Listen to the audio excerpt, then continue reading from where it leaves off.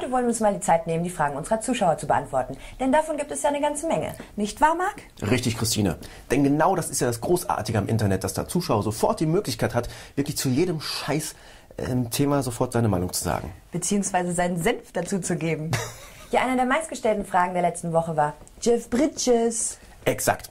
Also in Sachen Interview mit Jeff Bridges werden wir seit einiger Zeit von seiner Managerin Hinge äh, informiert. Nein, und Scherz. Sie hat uns versichert, dass Jeff von zu Hause aus ein Interview mit uns machen will, sobald er im September aus Montana zurückkommt. Genau. Und wir haben auch keinen Grund, an dieser Aussage zu zweifeln. Okay, noch sicherer wären wir, wenn die Mail mit Fassmail geschrieben worden wäre. Da sieht der Empfänger nämlich genau, wie die Mail vom Absender verfasst wurde. Also mit allen Pausen, Korrekturen und Löschungen. Das verrät oft mehr als der eigentliche Inhalt. Da kann selbst ein Liebesbrief schon mal nach hinten losgehen. Also ich bin jedenfalls optimistisch.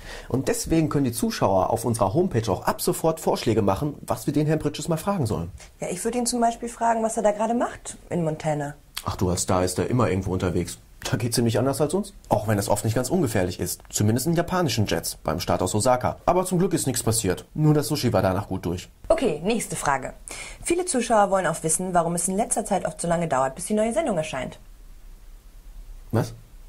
Gut, wer das auch beantwortet. Ja, Entschuldigung. Alter Mann ist kein Atem. Also dieses unglaublich schnelle und wendige Auto, das hier von der BBC-Show Top Gear vorgestellt wird. Der Atem ist so schnell, dass er sogar die meisten Motorräder abhängt und gnadenlos schlaffes Hautgewebe entlarvt. Schon gut, ich weiß ja selbst, wie das ist.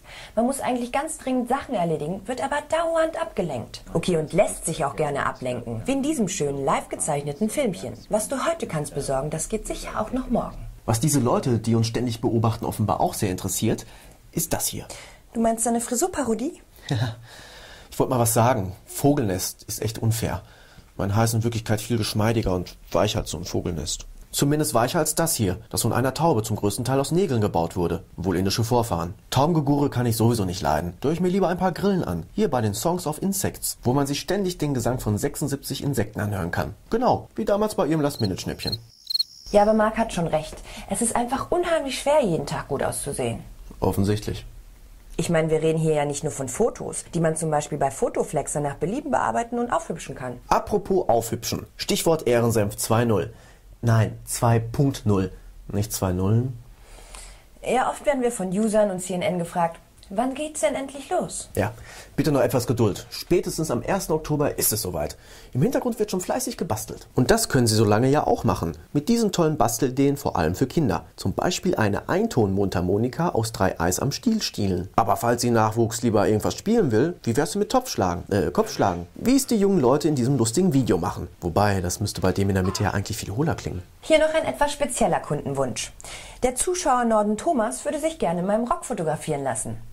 Hey, das ist kein Perverser oder so. Das ist ein ganz netter Familienvater, der diesen Rock einfach mal aus Spaß anziehen will. Da diskutiere ich mit dir jetzt auch gar nicht drüber. Der wird eingepackt, weggeschickt und fetisch. Fertig. Oder willst du auch mal?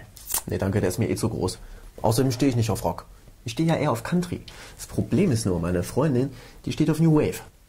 Der guckt nicht so. Der hier versteht mich. Der weiß genau, wovon ich rede. Das ist ein verdammtes Problem. Da sollte man keine blöden Witze drüber machen.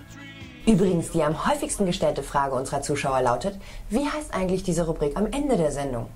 Spieletipp? Richtig, Marc. Und was kommt da immer am Ende? T Trenner?